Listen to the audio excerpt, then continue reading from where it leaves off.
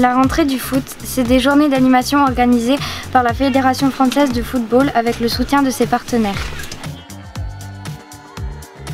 Différents stands ainsi que des activités éducatives autour du football sont proposés pour sensibiliser les participants aux différents objectifs établis par le programme éducatif fédéral.